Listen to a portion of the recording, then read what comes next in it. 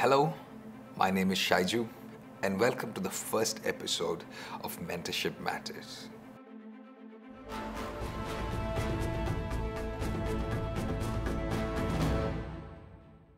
With this episode, I want to share why mentorship. If you study the different prophets in the Bible, you will notice that their styles are, were not all the same. Each had a very unique style of ministry, kinds of ministry.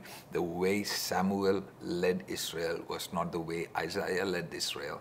And the way Isaiah led Israel was not the way uh, Ezekiel or Jeremiah or Elijah led Israel. But there are two people that have had very similar kind of prophetic ministry, and that is Elijah and Elisha. It has amazed me that even though prophet Samuel was anointed by God, his ministry did not look like Elijah. Elijah, even though he was anointed as a prophet, you see him doing things that prophet Samuel did not do. Samuel, however, did not have somebody that would carry on his mantle. Then you see that his sons did not follow his ways. But if you study Elijah, somehow God gave him the grace to raise up a successor, Elisha, who had the privilege of carrying his mantle. Now, at the release of his mantle, Elijah decides to part ways and says goodbye to him.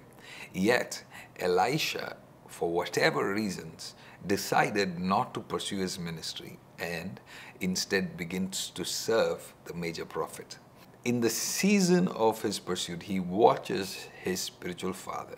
He sees, he observes, he studies him. He begins to follow where he lives. He begins to understand how, he begins to observe what he wears. He begins to see how he conducts himself. And you notice that Elisha's ministry was just like Prophet Elijah. And that is a critical key for us to understand because centuries later, you will see John the Baptist that had the grace of Prophet Elijah. The Bible says that he came in the spirit of Elijah, yet he did not do the miracle signs and wonders the way Elijah did. So you could carry a mantle that is able to produce a certain level of results. Yet you do not tap into that because you were not mentored by that individual and taught you how you can apply that grace onto your life. So, to repeat myself, you can carry the grace of a man of God and yet not know how to apply that grace.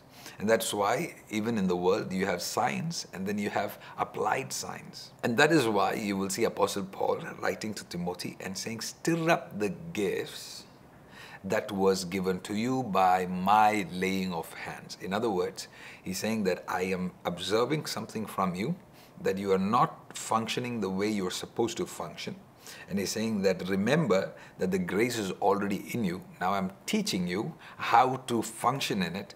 And in order for you to function in it, you need to learn to stir it up. That means there are some gifts that are inside you that will always remain inside you and will become history if there is not somebody that can teach you how to stir it up. That is, in essence, mentorship.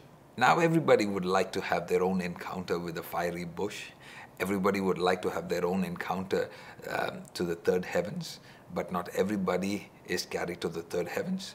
But probably God will give you somebody that has gone to third heavens. The fastest route to get to New York from Montreal is to use highway number 15. But sometimes ambition or I would go to say, even foolishness, would want you to say, listen, I don't want to use another route. Instead, I'm going to build my own path. Can you imagine how many hundreds of workers and tens of thousands of man hours that was required and the resources and the strategy and the engineering that went behind building that road? But now, here comes somebody that says, uh, I'm going to build my own road and you're going to spend a lifetime trying to do it by yourself. Instead, humility and wisdom will lead you to get to that road that is already built and appreciate that road and be grateful that there is an already existing road and to get there faster than you would have otherwise do trying to build your own road. And that is mentorship. In the book of Ecclesiastes, the Bible says there is nothing new under the sun. That means everything that we want to do has already been done. Everything that we, we, we desire to learn through ministry has already been tried by somebody. So we can save time, pain, tears, and toil by finding somebody that has already traveled that path that we desire to travel. And by getting under their covering, getting under their wings, getting under their counsel, direction, whatever you want to call it, that will accelerate your journey and it will get you there faster than you could have achieved by yourself.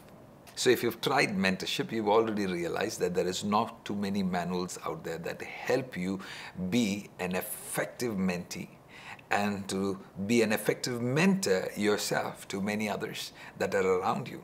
And sometimes that relationships is more trial and error.